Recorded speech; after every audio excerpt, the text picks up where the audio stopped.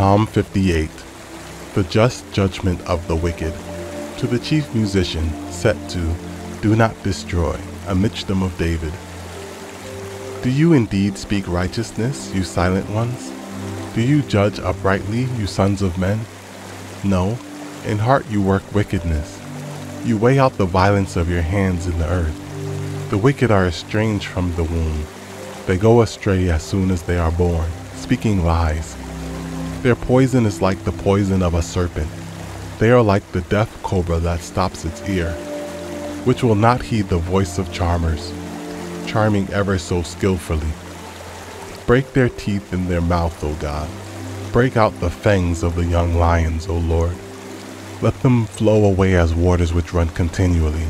When he bends his bow, let his arrows be as if cut in pieces. Let them be like a snail which melts away as it goes, like a stillborn child of a woman, that they may not see the sun. Before your pots can feel the burning thorns, he shall take them away as with a whirlwind, as in his living and burning wrath.